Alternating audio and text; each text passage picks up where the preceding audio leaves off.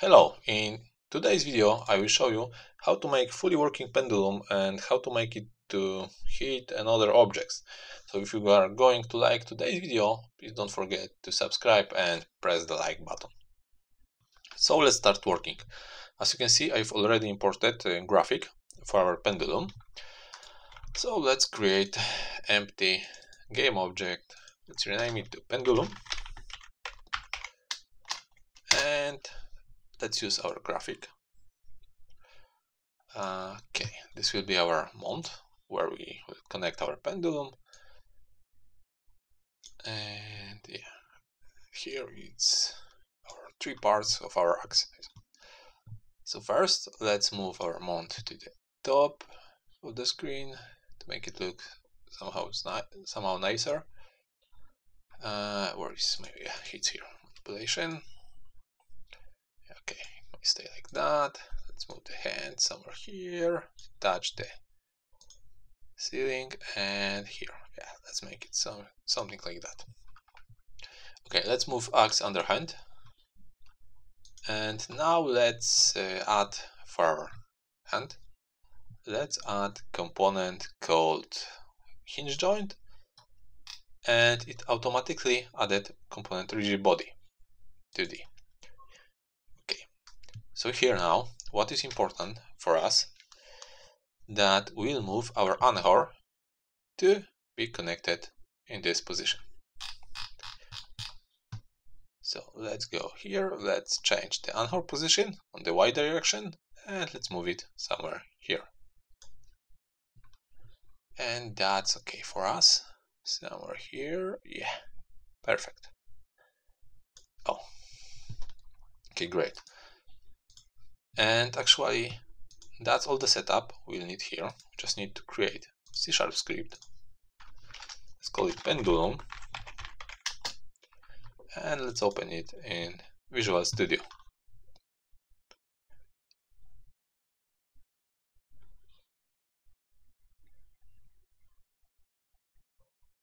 Now, what we'll need, I will zoom in, what we'll need for our code it will be referenced to our rigid body we just added.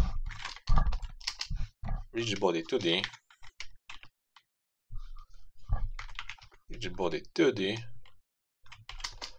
it will be referenced for our rigid body. We'll need a movement speed. We want to set up.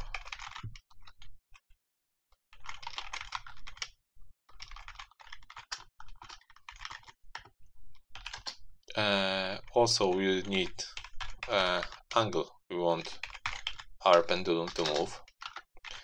So let's move, let's write left angle,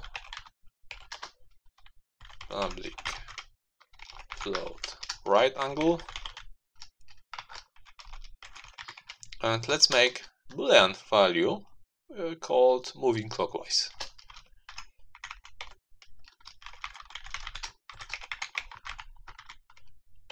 okay now mm, I will show you mm, I will debug the values and I will just add force to move our rigid body. But first let's let's finalize our get component. As you remember the get component to the will assign to our value because here we only declared our rigid body and here we'll assign our rigid body. So what you can see here,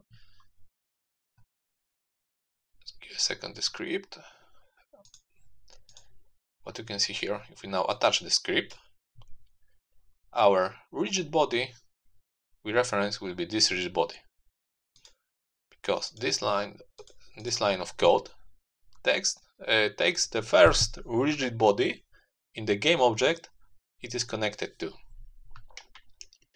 Okay, so just to clarify, I will show you something. Debug that log will use uh, will use use for our logic uh, rotation transform rotation value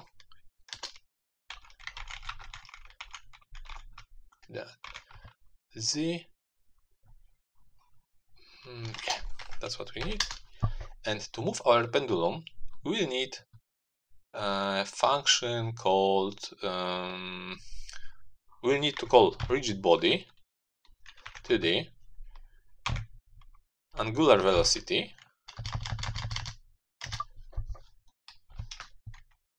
Let's write there by 2D. It's just quicker to write. Rigid body 2D. Angular.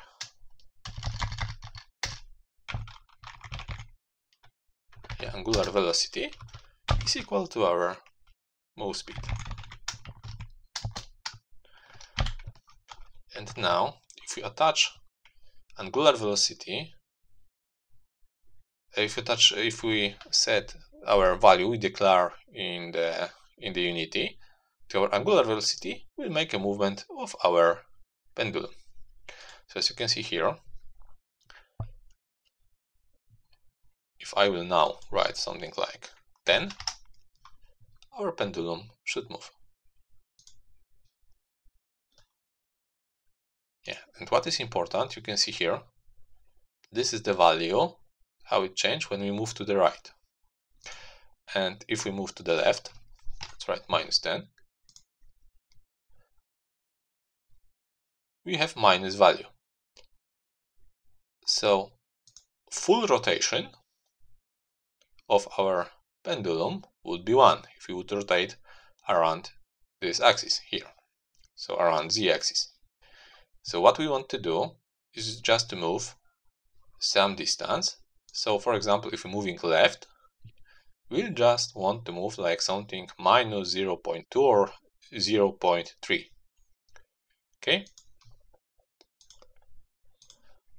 So now I will just uh, delay this function. That was just for the explanation. And and also yeah we have that was just for the explanation. And now what we want to do is to write script which will call which will be called like void let's name it change move there direction okay so what we'll do here we'll check if transform that rotation that z is bigger than right right angle. Yeah it's here and also we'll, we want to check if yeah we can copy this one actually. Is transform rotation z is smaller than left angle. Okay. And what we want to do here is just to set our value of moving clockwise. Because if we if we move behind our right angle we want to change change our moving clockwise to be false. And if we if we go behind our left angle so what is happening here? If we go to the right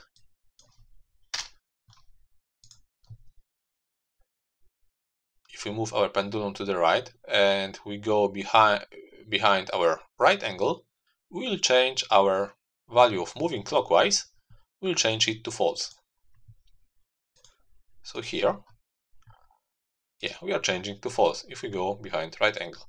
The same for the left angle. If we will move our pendulum to the left and we go behind left angle, we will just write that we want to move clockwise okay and on the start as you saw we are moving clockwise. So yeah.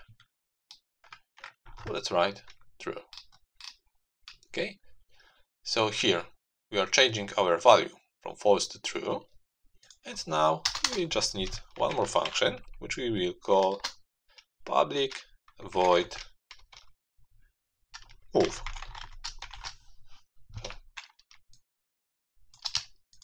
How to feel So if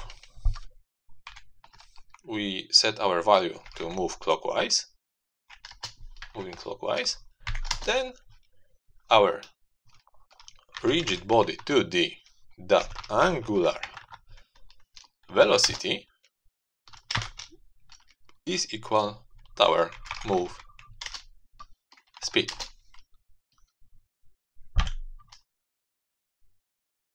Yeah, and if we are not moving clockwise, so if we are not moving clockwise, so it's different than moving clockwise, so the value we set here, our move speed, we just want to go to the opposite side, so our move speed has to be minus 1 multiplied by our move speed.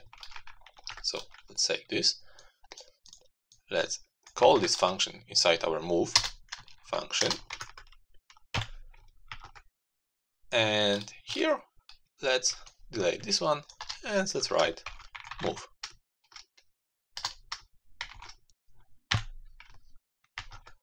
Okay. Now let's go to Unity. And here let's make our bigger speed because if our speed is too low, we will not be able to reach our left or right angle. You have to notice that that uh, I will show you zero left angle is minus 0.35 let's say it like that. And 0.35 so you will see how it's working now. Yeah we are moving to the right. And now it starts to move faster. Yeah. And when it reaches, uh, reaches to the border, it's moving slower.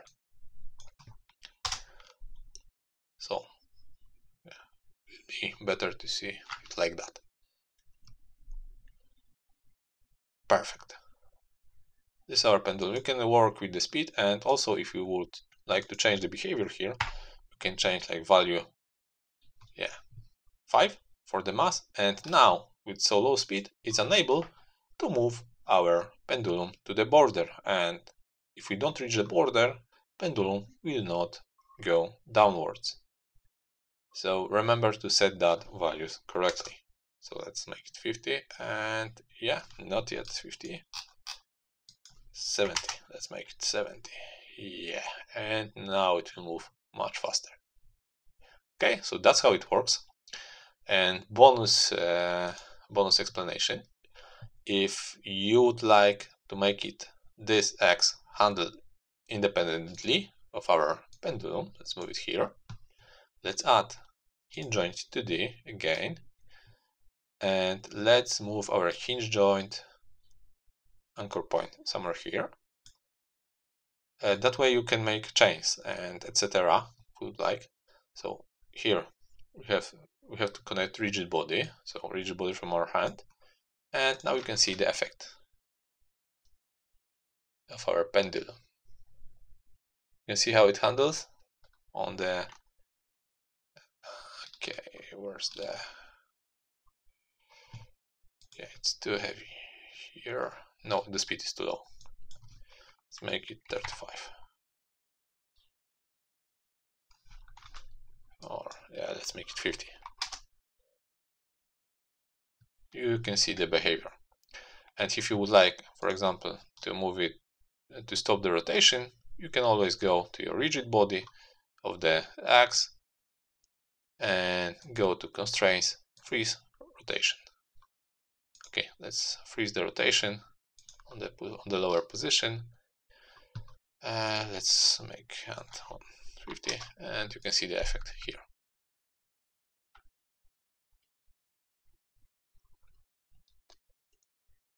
Okay, so that's how it mostly work. And of course, if you would like your axe to collide with anything, you have to add circle collider 2D to be, to be able to hit any objects. So if I would now add, let's add axe again, somewhere lower, and if you would like to hit that object, so let's make circle collider 2D for this one. Let's add rigid body 2D And now let's uh, change gravity scale to zero. So that way you should be able to hit our object. Bam. And also, if you would like to make uh, axe uh, to move correctly without any rotation uh, behind our handle, just make the axle hand, uh, of our hand, remove hinge joint, remove rigid body 2D, and leave the, only the circle collider. So if you press play now, you can see, okay, one second for the Unity.